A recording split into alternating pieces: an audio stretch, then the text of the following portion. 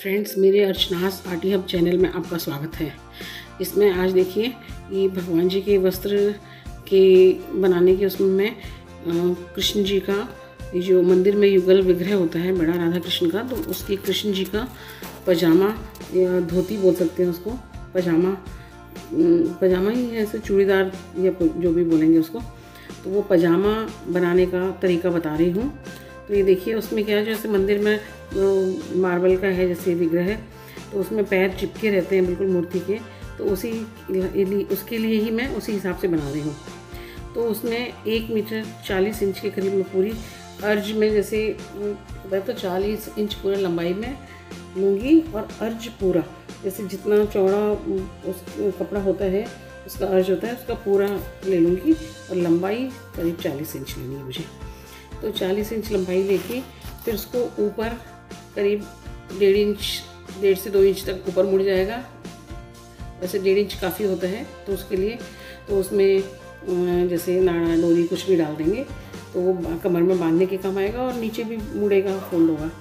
तो इस तरह से कपड़ा ले लिया और फिर उसके बाद जो आधा, यानी करीब 20 इंच से थोड़ा कम, करीब 18 इंच पे बिल्कुल हाफ़ करके नीचे वाले उसमें स्लिट दे देंगे। ये देखिए, कपड़ा देखिए सिल्क का कपड़ा है, बहुत सुंदर लग रहा है भगवान के लिए। एक गोल्डन इसमें, गोल गोल मोटिव्स बने हुए हैं जो, ये बहुत अच्छे दिख रहे हैं। ये देखिए, इसमें मैं पूरा नीचे की तरफ़, ये देखिए, इस तरह से पैर आएँगे जो दो तो इसको बीच में से यहीं से स्लिट दूँगी।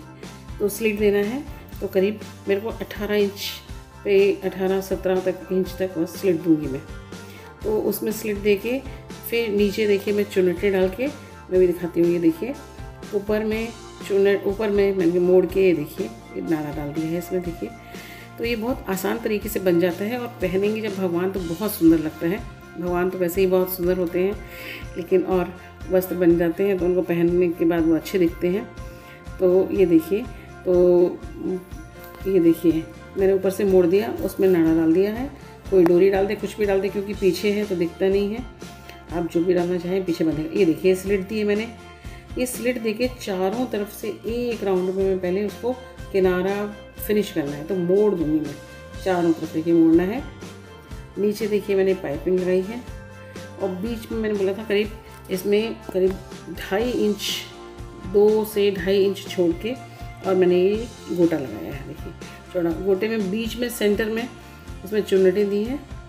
तो ये जैसे भगवान को जब पहनाएँगे तो ये चुनट वाला हिस्सा सामने आएगा। और बाकी पीछे चला जाएगा। ये देखिए इस तरह से। तो पीछे चला जाएगा तो ये बहुत सुंदर। और ये चुनत वाला हिस्सा एड़ी के थोड़ा टकने के नीचे आएगा। तो ये पायल का लुक देता है। और सामने जो फ्रिल सा रहता है, ये पूरे पंजे पर सामने आ जाता है। तो इससे बहुत सुंदर दिखता है सामने। ये देखिए इस तरह से ड्रेस, इस तरह से पहन रहते हैं भगवान जी के क्रॉस में। तो ये देखिए, ये पूरा आगे पंजे को भी आधे से ज़्यादा कवर कर लेता है ये। इस तरह से करीब और नीचे आके रखने के। तो इस तरह से ये बहुत सुंदर लुक देता है ये पहन के। ये देखिए। तो ये इस तरह से बहुत आसान तरीके से बन के तैयार हो जाता है। एक मीटर कपड़े में आराम से बन जाता है ये। ये करीब मुझे जहाँ तक अंदाज है, चार फीट के आसपास मूर्ति होगी, साढ़े तीन चार फीट। और उसके लिए ये पजामी चार फुट के मूर्ति के लिए आराम से ठीक रहेगी ये साइज़ तो ये देखिए, ये बहुत बस एक ये सामने गोटा लगा है पंजे में और सामने नीचे मैंने पाइपिंग दी है, आप प्लेन भी कर सकते हैं और सिर्फ़ इतना ही गोटा लगता है इसमें। बाकी सब चारों तरफ़ वैसे फिनिश कर दिया है, कभी पाइपिंग से भी कर सकते हैं आप फिनिश इसी पाइपिंग से चारों तरफ़ फिनिश कर दें, चाहे दिखना तो दिखेगा तो है नहीं सामने।